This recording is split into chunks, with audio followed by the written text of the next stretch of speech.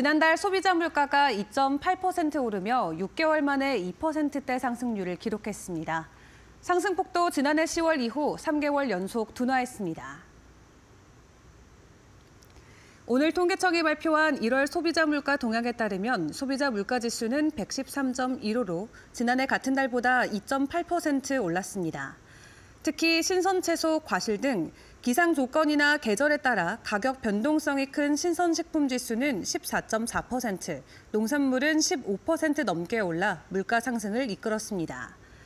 물가관계장관회의에서 최상목 부총리는 2%대 물가가 확실하게 안착되도록 총력을 기울이겠다고 밝혔습니다. 특히 설 민생 안정 대책을 위해 성수품 공급 확대, 할인 지원 정책 등을 추진할 계획이며 16개 설 성수품의 평균 가격을 지난해보다 낮게 유지하겠다는 대안도 내놨습니다.